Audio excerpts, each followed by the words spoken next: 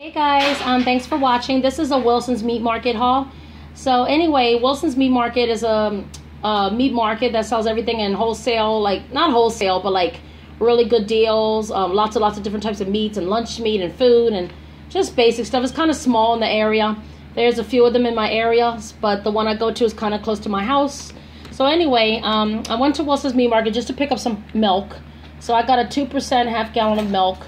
Then when I was over there, I grabbed some meat little um, things on the side or whatever. So right here is a Hormel's uh, bacon and pork sausages, maple flavored. It's got 12 links in the box, and this one is $1.29. I thought that was a good deal.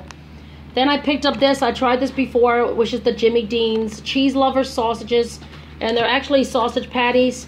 So people like Jimmy Dean sausage, this one has actual cheese in it, and you can see the little little blocks of cheese inside. It's really good. It has full of flavor.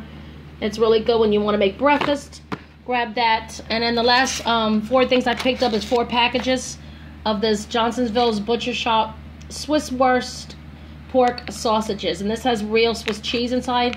I love to chop these up and put them in potatoes or omelets.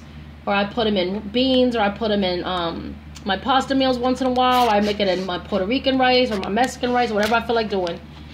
Or rice-a-roni, actually, or anything quick. So this is really good. Or you can actually eat it by itself. You can just boil it as a hot dog, put some mustard on it, bang, and you know whatever you, whatever toppings you like, and you have a good um, little sandwich. Also, they have all different types of flavors and stuff. But these ones are 99 cents there.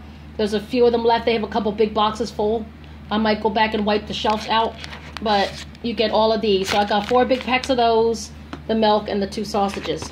So anyway, thanks for watching the small Wilson's Meat Market haul, and um, have a good day, guys. Bye.